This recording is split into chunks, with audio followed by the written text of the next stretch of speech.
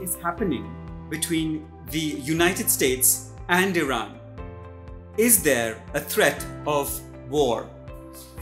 Well, let me start with answering the second question first.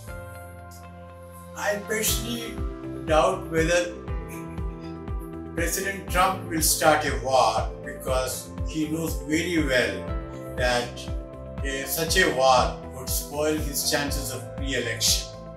But having said that, we cannot rule out the possibility of a war because uh, wars can be can occur even when either side doesn't want it. Take the First World War.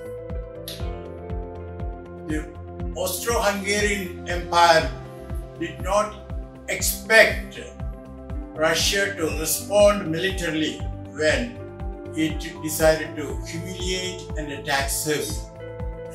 Similarly, the military leadership in Berlin did not expect the United Kingdom to respond militarily when Germany violated Belgian neutrality. So, errors of judgment can lead to war. In this context, a person like John Bolton seems to think that a series of bombings will make Iran rush to the negotiating table and say uncle and sign on the dotted line.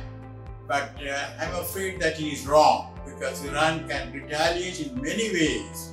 It has its proxies, the Hamas in Gaza, Hezbollah in Lebanon, and a certain armed Shia groups in Iraq.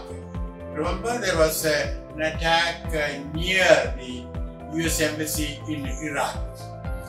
Now, the first important thing to realize in this matter is that President Trump made a fundamental mistake in walking out of the Iran deal.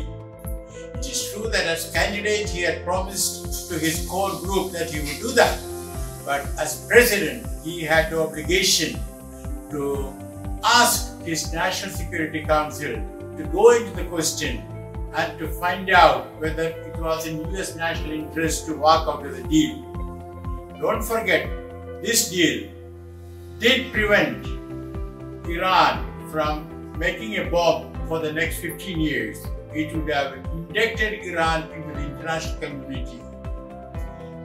And for United States to walk out of a deal signed by each president when a new president comes, no, this does not mean that the United States believe in a rule-based international order. So President Trump has made a big error of judgment. But, uh, you know, the problem is that the rest of the world cannot stand up to President Trump. Look at the Europeans. They have miserably failed to stand up to Washington. And uh, that is the real problem. In other words, there is a unipolarity in the financial and trade, international financial and trade exchanges. This unipolarity has to be dismantled